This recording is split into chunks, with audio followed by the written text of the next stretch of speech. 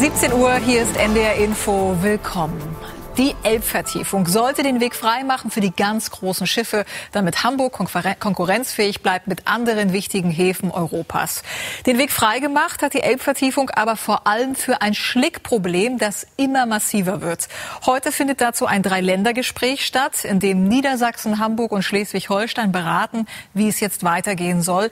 Denn aus der Elbvertiefung wurde ein Projekt mit wenig Höhen, aber tief und festsitzenden Problemen.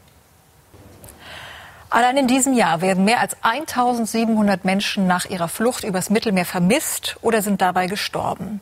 Die Organisation Sea-Watch kann aktuell nicht helfen. Ihr Schiff wird seit drei Monaten von den italienischen Behörden nahe Sizilien festgehalten, weil es.